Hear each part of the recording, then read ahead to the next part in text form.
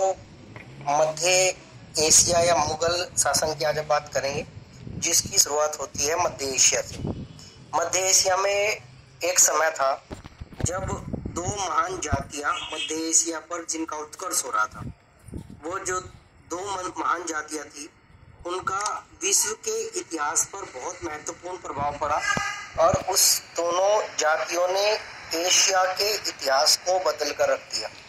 उनमें से एक महत्वपूर्ण जाति थी तुर्क जो तुर्किस्तान में पाए जाते थे। और दूसरी जो महत्वपूर्ण जाति थी वो थी मंगोल जो मंगोलिया में पाए जाते थे। जो तुर्क थे उनका सबसे महान सम्राट या महत्वपूर्ण सम्राट कहें तो तैमूर को माना जाता है।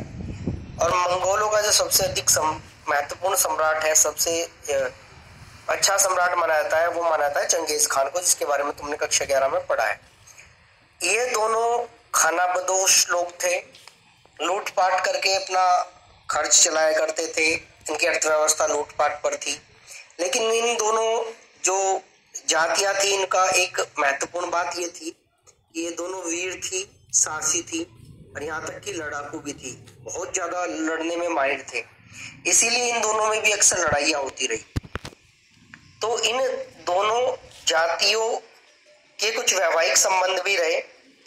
इन्हीं के एक बाद में जो भारत में आता है और मुगल वंश की स्थापना करता है, वो इन्हीं जातियों से, दोनों से संबंधित था, जिसका नाम था बाबर। बाबर 1526 में भारत पर आक्रमण करता है और बाबर पिता की तरफ़ से तैमूर वंशी था और माता की तरफ़ से मंगोल वंशी था, चंगेज खां का वंशज माना जाता है। अब एक ऐसा व्यक्ति जो दो वीर जातियों का जिसमें रक्त बहता हो वो बहादुर तो हो गई।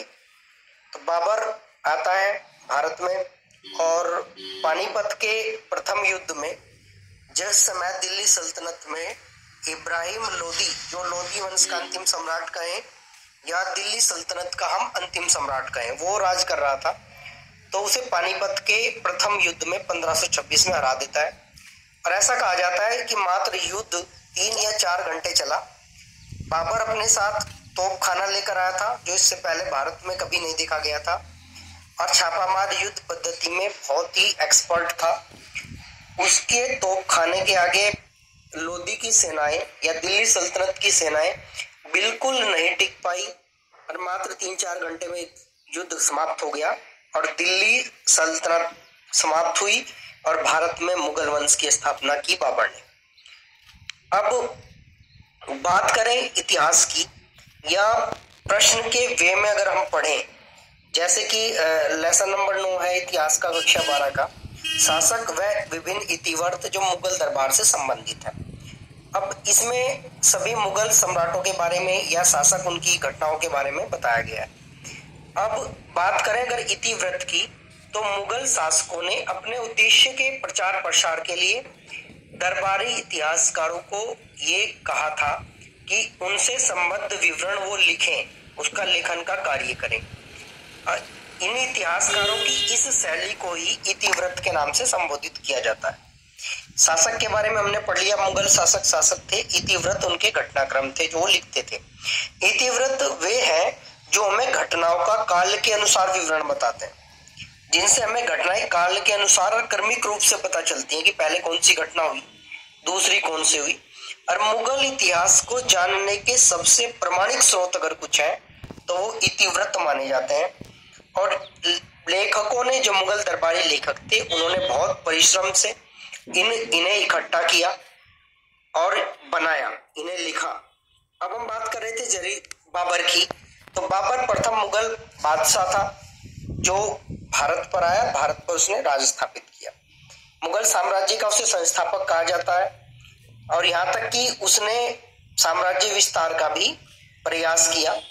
भारत में उसने अपने चार वर्ष के शासनकाल में 1930 में उसकी मृत्यु हो जाती है और उसके जो शव है, वो काबुल में बाद में दफनाया गया। पहले ऐसा माना जाता है कि आगरा में दफनाया गया और बाद में उसके शव को उसके मुगल पूर्वज वो बाद में ले गए और काबुल में जाके दफनाया गया। तो फ़िलहाल मकबरा उसका काबुल में है।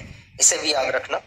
अपने जीवन काल में उसने चार महत्वपूर्ण लड़ाइयाँ लड़ी, जो क्रम से लड़ी गई। पहली लड़ाई 1526 में लड़ी थी, उसने पानीपत की प्रथम लड़ाई। दूसरी पंद्रह सौ सत्ताईस में आएगी, फिर अट्ठाईस में आएगी, फिर पंद्रह में आएगी और तीस में उसकी मृत्यु हो जाती है। पहली लड़ाई पानीपत की लड़ाई थी, दूसरी खानवा की लड़ाई थी और तीसरी चंदेरी की लड़ाई थी और चौथी घाघरा की लड़ाई थी। चार सिंपल लड़ाइयाँ हैं पानीपत, खानवा, चंदेरी और घाघरा। बहुत इंपॉर्टेंट है, पूछी जाती है, मुगल वंश की यहाँ से स्थापना हो जाती है। और उसके बाद के जो वंश थे जो शासक थे, वो सब मुगल कहलाते हैं। पहले छह शासक, बहुत ज़बरदस्त उनका शासनकाल रहा। बहुत बढ़िया रहा। भारतीय इतिहास में मुगल वंश के प्रारंभिक छह शासकों का जो शासनकाल है, वो स्वर्णिम अक्षरों में लिखा गया है और उन्होंने भारत के एकीकरण में बहुत महत्वपूर्ण भूमिका भी निभाई है। अब बात करें उसकी चार लड़ाइयों की, जो याद रखने की ट्रिक बिल्कुल सिंपल है कि पहले आया, आते ही उसने पानी पिया तो पानीपत की लड़ाई हो गई। फिर खाना खाया तो खानवा की लड़ाई हो गई। फिर चाय पी तो चंदेरी की लड़ाई हो गई। फिर वो घर चला गया तो घाघरा की लड़ाई हो गई। तो चार बिल्कुल सिंपल वे में है। याद कर लेना और बाबर की कहानी तक यही है। बाकी इसके बाद का इतिहास बाद में बताया जाएगा। फ़िलहाल इसे ध्यान से सुन लें और नोट कर लें। उसके बाद आपका जो लेसन है शासक और इतिव्रत उसकी डिटेल्स आपको प्रोवाइड करवा दी जाएँगी। और ये बत, अब ये समझ में आ गया होगा कि मुगल दरबार से संबंधित क्या थे शासक और इतिव्रत क्या थे और क्या इनकी कहानियाँ थी।